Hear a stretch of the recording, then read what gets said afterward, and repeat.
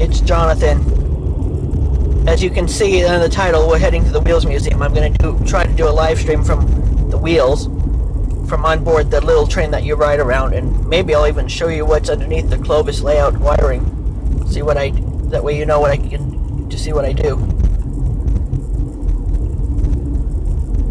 So it's taking a little bit of time. I'll be there when I can, but otherwise, yeah.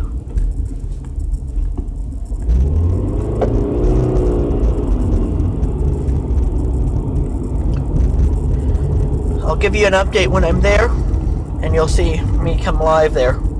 So, see you then. Bye.